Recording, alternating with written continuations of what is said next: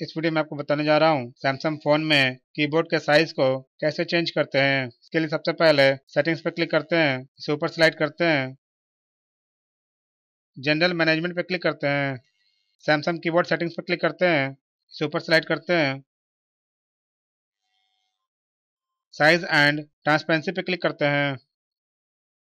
आप देख सकते हैं फ़ोन का कीबोर्ड शो कर रहा है। अगर आप कीबोर्ड के साइज़ को बड़ा करना चाहते हैं तो इसे ऊपर की तरफ़ स्लाइड करते हैं। इसके बाद डन पे क्लिक करते हैं। अगर आप कीबोर्ड के साइज़ को छोटा करना चाहते हैं तो इसे नीचे की तरफ़ स्लाइड करते हैं।